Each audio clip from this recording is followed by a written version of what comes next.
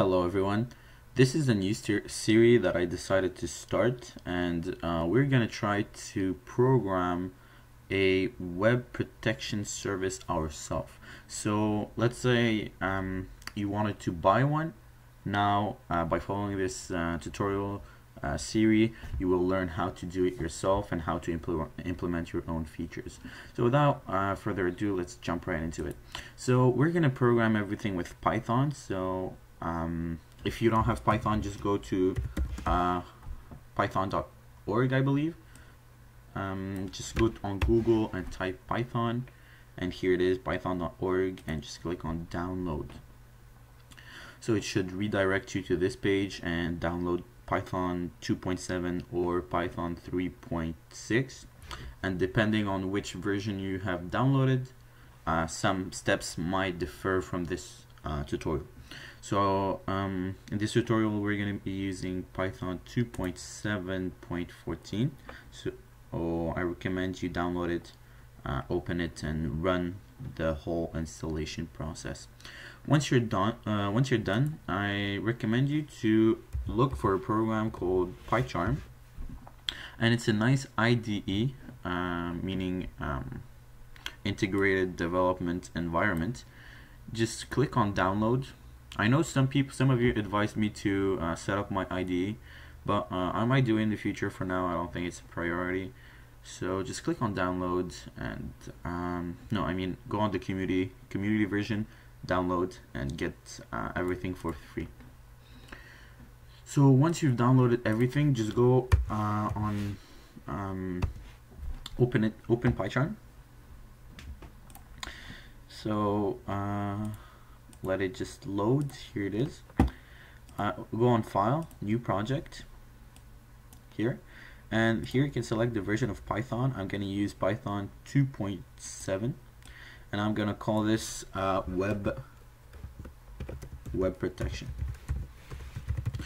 So in this series we're just gonna learn how to um, basically block some URLs if you want to protect your kids from like certain dangerous website we're also going to learn how to block specific uh, sections of Google, such as Google Images or uh, videos.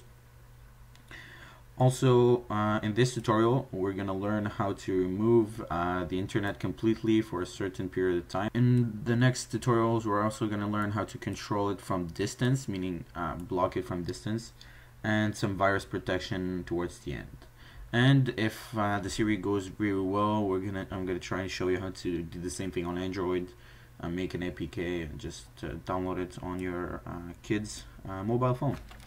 So here I'm just gonna open in current window because I, I, don't want this to show anymore.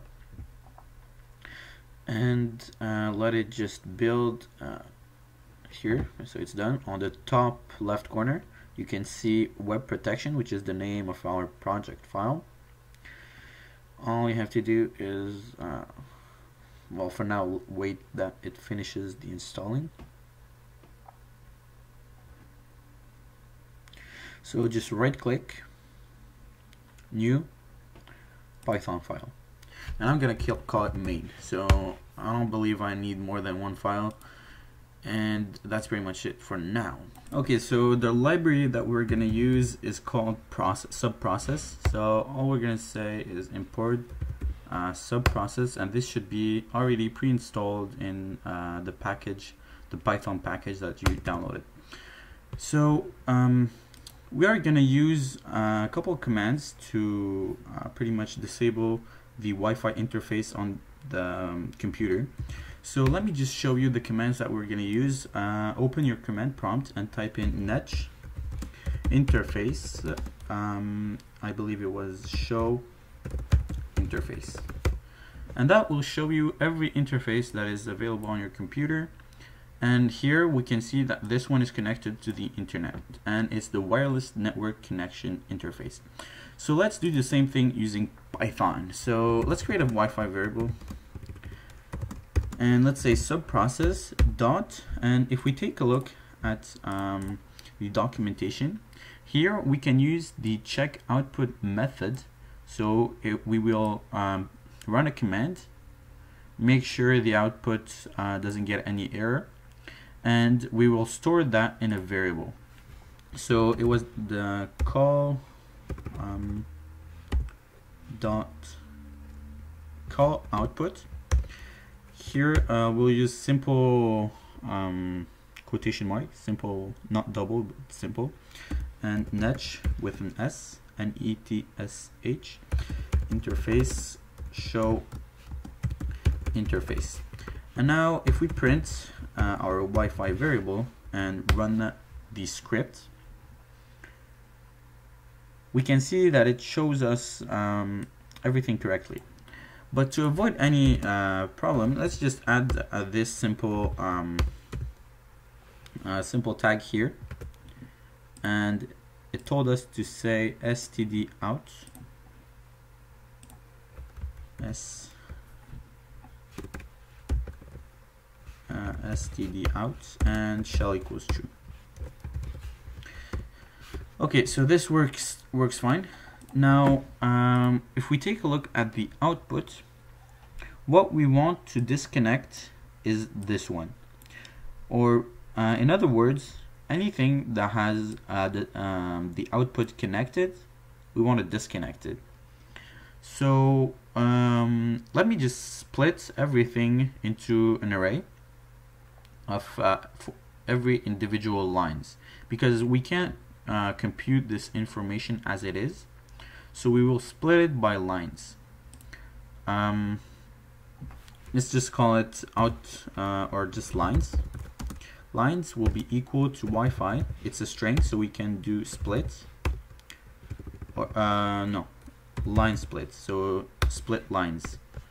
So Wi-Fi dot split lines that will split every line.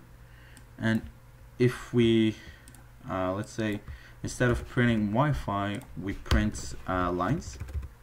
It should return a, an array or a list. And here you can see we have a list. The first element is an empty uh, an empty list. This is the second element which it, which was our top uh, line. Then we have this. Then we have uh, this line this line. So it really splits every line into an individual element of our array. And this will be useful because we will loop through all of these elements and we are looking for the word connected. So uh, let's just start our for loop for let's call our variable i for i in range of the length of our array which is uh, the array is lines so um, for i in range of lines if we find the word uh, connected capital T um, if we find that in uh, lines in our uh, element i so basically we say okay uh, first element this one look for the word connected if you don't find anything you don't run this command. You don't run what whatever is in here. And then we look in the second element. If you find the word connected we run in the third element and so on and so forth until we find um, the word connected somewhere. And so here uh, we have the word connected. So let me just create another variable, which will be our, um, uh, let's call it output. Or no, let's just call it um, interface. Let's call it interface is equal to uh, lines element i. So we want to take this element, we want to split all these spaces, so we want to get rid of these spaces, and we only want the interface. But for now, let's just say it like that, and let's print uh, interface. Let's see. Let's see what's the output as it is right now. And as you can see, it has splitted everything. It splitted the word enabled, connected, dedicated and the whole thing here should be the name of our uh, interface However, this is not um, correct. This is not a correct output because it splitted these two. It basically, when you use dot split, it removes the spaces. But here, in my case, my interface had spaces. So, so let's just uh, add a parameter. Let's say none. That will remove the spaces for the three first elements. So it will remove the spaces for this one, this one, this one, but it will not remove spaces for this one. So let's just run it again and see whether this works or not. And it does. Here you can see that this is a single element of our array. It did not remove the spaces. And so that's pretty nice.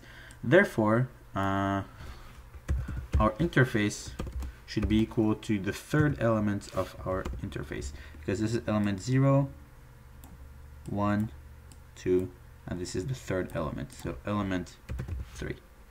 And let's print print the interface, the new interface, right? There it is. We have uh, we managed to find the interface uh, that is connected to the internet. Now the next uh, command that we're going to use is a very simple command. It's very similar to all we have to do is say netch interface set interface and here open quotation mark and this time they should be double quotation marks. And uh, just paste it here and the quotation mark and say disable. This uh, outputs a very interesting call and it says uh, the request operation requires ele uh, elevation. So we need to run the command shell as administrator. So right click and uh, then click on run as administrator. Here you should have a, a password of course. And then it should uh, open this in administrator mode. Uh, so let me just copy the exact same command.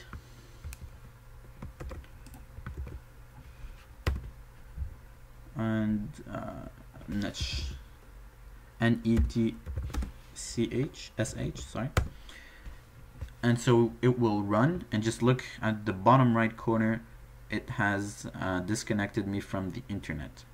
Now if, if I want to reconnect all I have to do is uh, run the same command but instead of disable at the end I'll just put enabled. Uh, enabled. There you go uh, the uh, internet is back on. Now this only works if uh, the user is connected to the internet. If he's not connected, this uh, will not work. You could um, disable everything, but I would not recommend that. Uh, if you want to be more, if you want it to be like, uh, if you want to block him completely from accessing the internet, I would recommend to run um, the the the commands for every interface. So not just the one that is connected. But in the case that I'm showing you here I'm only looking for the one that is connected. And then I take the name of the interface and I am printing it to the screen. But instead of printing it now let's uh, use another subprocess call. And this time uh, we will use uh, the call here this one.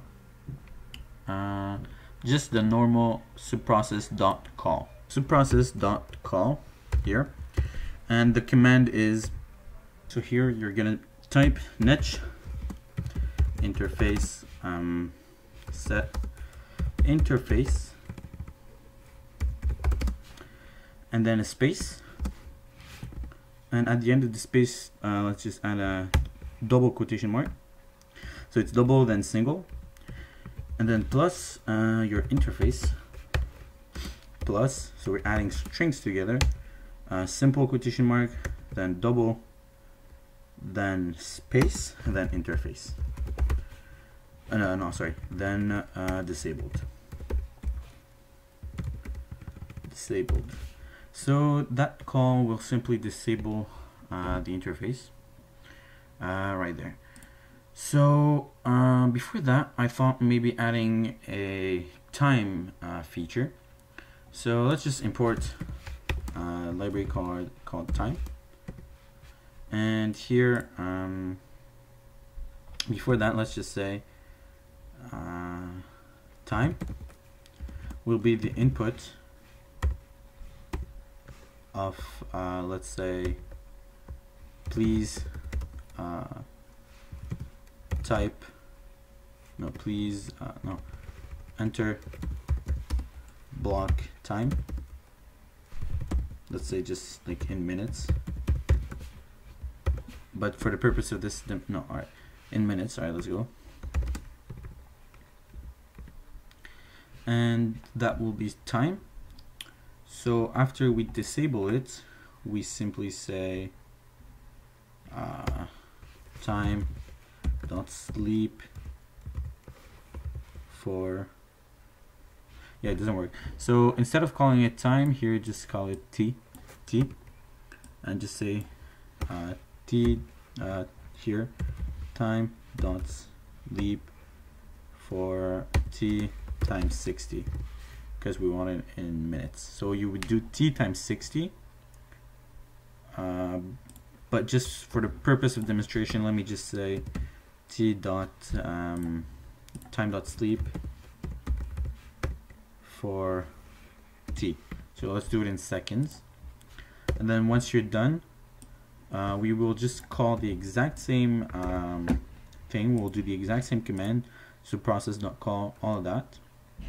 But here let's just enable enabled so just enable the thing and we, uh, let's just copy the same uh, last two arguments from the previous uh, command.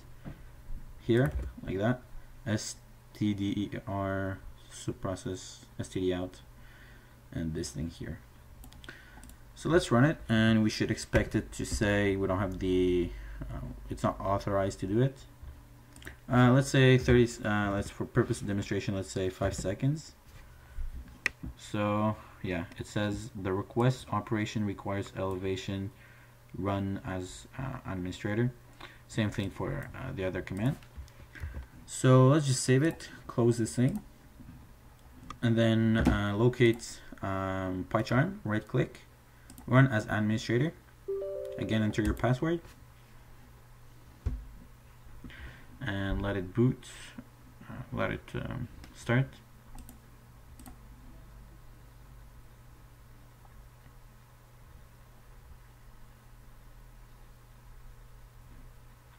and so now it's loading our web, web protection um, project. It's loading the project. And here it is. Let's close this thing. Uh, run it. Basically uh, clicking F5 or go on top. Run here and then just run it. Uh, run run main and if we, you take a look at uh, here it says enter block time in seconds for demonstration purposes. Uh, let's say block it for 10 seconds. So here just take a look down, down there. It, it's blocked. Uh, I don't have access to the internet anymore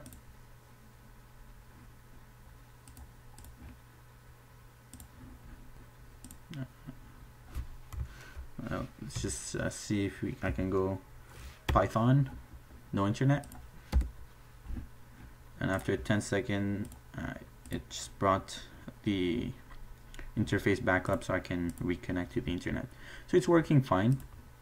Let's just uh, put it in minutes here uh, for the real um, program. Just block it for an hour or so 30 minutes as you wish and um, the user will not be able to connect to the internet if they don't have the administrative password so that's what that's how you block the user uh, from accessing the internet for a certain amount of time next episode we're gonna look um, into making uh, blocking specific websites uh, hopefully um, it will be interesting and useful for all of you. So thank you and I'll see you in the next video.